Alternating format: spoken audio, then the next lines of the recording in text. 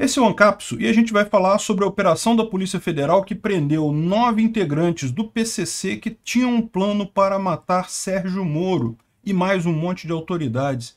Vamos entender esse assunto porque isso é uma coisa bastante preocupante, principalmente em face do que Lula disse ontem, né? O Lula, em entrevista que depois ele ficou sabendo que era ao vivo, que não podia desfalar o que ele falou, ele disse que queria fuder o Moro. E agora a gente descobre que tem uma, um plano do PCC de sequestrar e matar o Moro. Vamos entender esse assunto? Essa notícia foi sugerida por Volta para mim Samara, Picanha no Lombo e várias outras pessoas. Obrigado aí ao pessoal que sugeriu a notícia. Obrigado a você que está assistindo o nosso vídeo. Se você gosta do nosso conteúdo, por favor, deixe o seu like e se inscreva aqui no canal, né?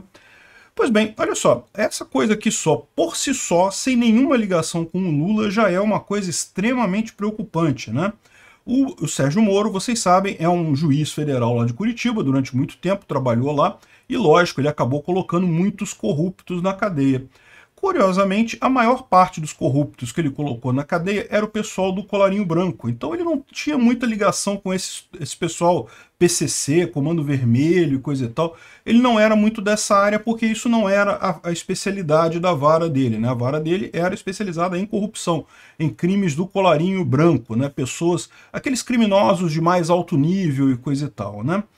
E o que isso aqui pode indicar é que, na verdade, existe uma ligação aqui no Brasil entre esse pessoal do colarinho branco, esse pessoal de, digamos, que faz a corrupção, que são criminosos menos violentos, supostamente, né? mas, pelo visto, tem uma ligação com essas grandes facções que existem dentro do Brasil. Olha que coisa curiosa isso, não é mesmo? Então, o que aconteceu? Hoje, na manhã de hoje, dia 22 de março, a Polícia Federal deflagrou a Operação Sequais.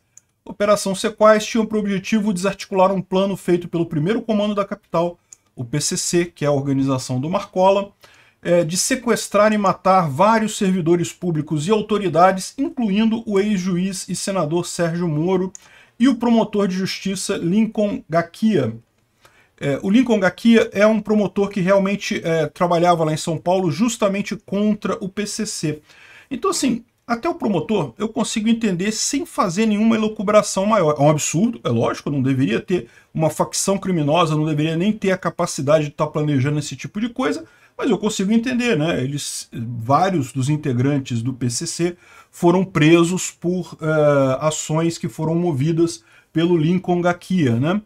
Uh, agora, o Sérgio Moro, o que, que o Sérgio Moro tem a ver com isso? Né? Isso começa a, a, abrir um problema nessa história toda. Não só o Lincoln Gakia, como os outros servidores públicos também, pelo que a gente viu em outras reportagens, eram é, guardas, pessoas ligadas ao sistema prisional, enfim, eram pessoas que faz sentido. De novo, não estou dizendo que seja justo, que possa acontecer isso, mas é, a, a, lógica de você entender por que, que o PCC queria visar essas pessoas, eles são uma organização criminosa, queriam matar as pessoas que atrapalham o dia a dia deles. Né? Até aí tudo bem. Me explica o Moro. O Moro era focado em crimes do colarinho branco, lá de Curitiba. A grande figura que o Moro prendeu foi o Lula. Tirando Lula, teve outras pessoas? Teve, mas todo mundo era auxiliar do Lula, amigo do Lula, era a galera da, da corrupção e coisa e tal. Tipicamente, crime do colarinho branco é aquele crime que, não estou dizendo que seja menos danoso ou coisa, coisa que o valha, mas é o fato é o pessoal que não costuma se sujar muito com crimes comuns, como é o caso do PCC, né? Agora, o que parece estar tá vendo aqui é aquela coisa que a gente não pode falar no YouTube, porque vocês lembram, o TSE proibiu a gente de dizer que havia uma relação entre determinados grupos políticos no Brasil e o PCC, né? Isso, essa proibição está valendo ainda, desde a época da eleição, né? Todo mundo alertou isso, olha só, o cara falou, um determinado fulano de uma determinada facção falou que, olha só, não, que o diálogo com um determinado candidato a presidente é cabuloso, né? E que a gente queria retomar esse diálogo cabuloso e coisa e tal, né? Enfim, é, repara como é que parece que o TSE, na verdade, proibiu as pessoas de saberem uma verdade, né? Saberem de algo que aparentemente é factual agora.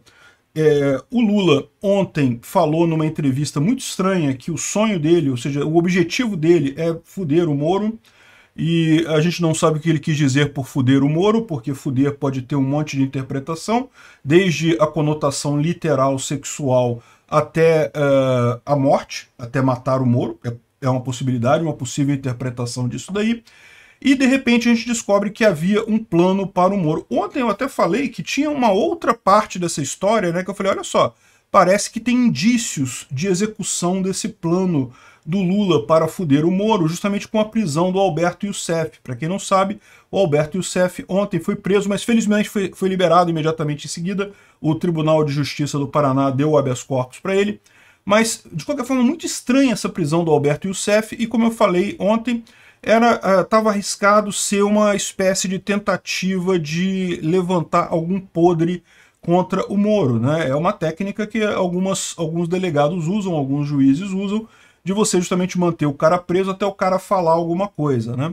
A suspeita é que tenham prendido o Alberto Youssef justamente com o interesse dele fazer alguma denúncia contra o Moro. Né? Vocês sabem, o Alberto Youssef ele foi preso lá no início da Lava Jato, e ali tinha motivo mesmo, ele estava fazendo né, lavagem de dinheiro.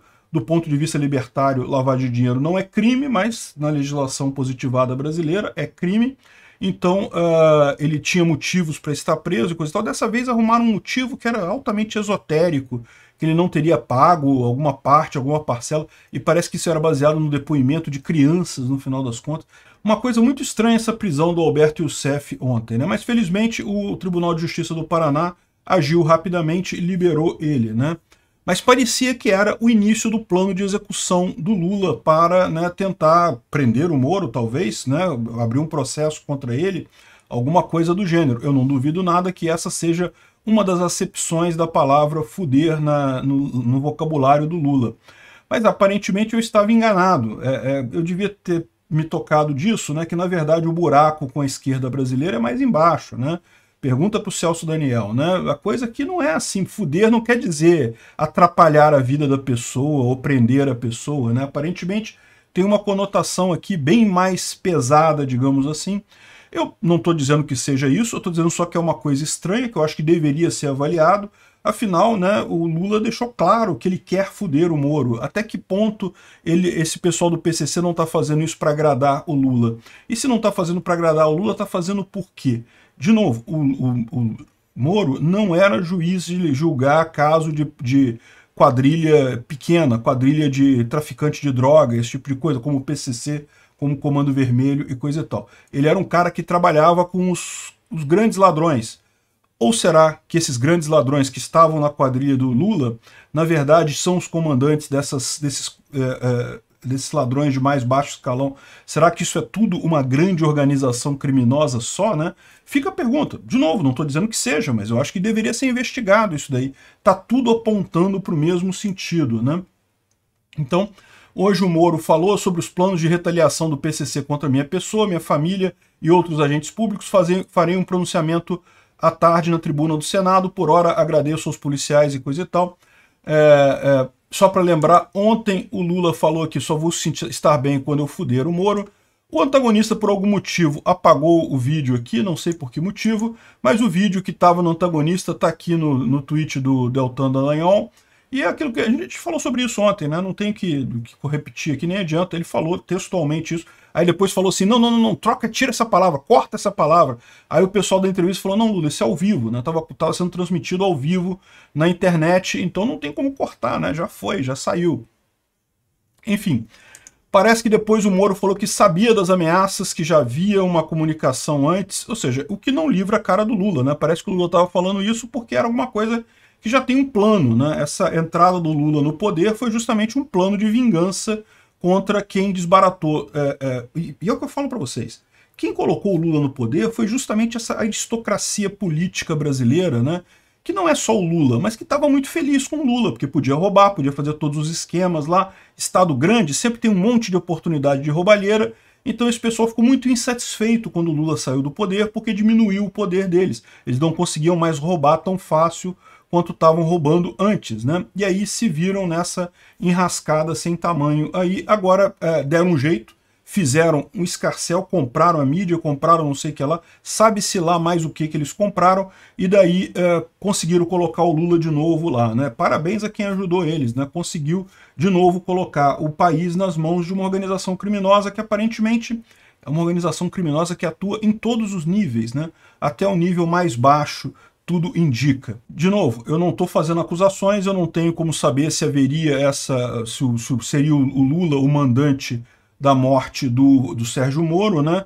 Mas existe essa possibilidade, né? Afinal, quem mandou matar Sérgio Moro? Temos que saber isso daí, tem que ser investigado esse tipo de coisa.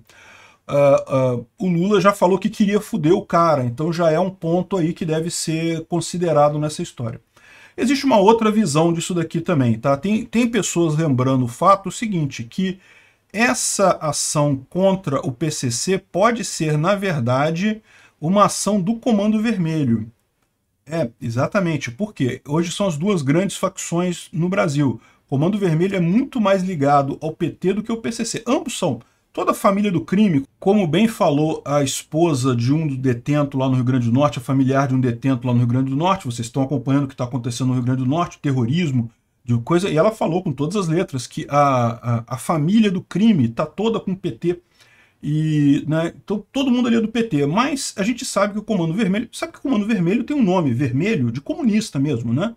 O Comando Vermelho surgiu justamente da interação dos criminosos comuns do Rio de Janeiro com os presos políticos da época da ditadura, ali no presídio de Ilha Grande, ali que, que nasceu a coisa toda. E nasceu mesmo com direcionamento comunista. Então, é, aparentemente, é, o Comando Vermelho pode estar chateado com o primeiro comando da capital, com o PCC, que é de São Paulo, que, que também tem ligação com o PT, também é amigo do PT, mas talvez não seja tão amigo assim.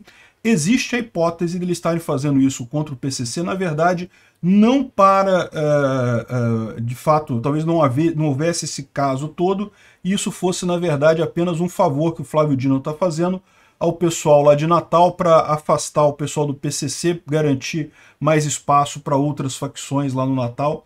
Mais uma parte do acordo dele com os, com os terroristas de lá, será?